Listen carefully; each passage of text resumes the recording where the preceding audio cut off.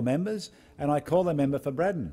Thank you very much, Mr Deputy Speaker. Today is Wear Orange to Work Day, and I have a little bit of orange on for you today, which recognises the efforts of thousands of state emergency service volunteers across Australia who help serve their communities in floods, storms and other emergencies.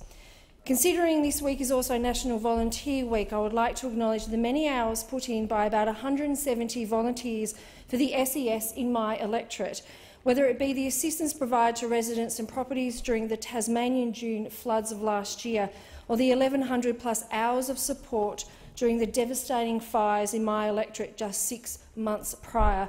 The SES is always there to help. And in both of these emergencies, fire service volunteers also provided exceptional leadership, support and assistance.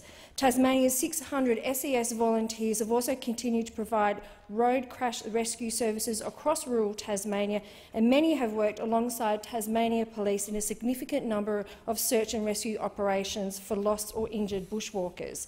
Many of the volunteers also sacrificed their long weekends and valuable family time to staff driver reviver sites as part of the broader road safety initiatives to encourage motorists to take a breath and reduce fatigue during their travels. Of course, the SES is just one example of the contribution of volunteers in our community, so thank you to all of them and to all of those who go above and beyond and are there to help in such times.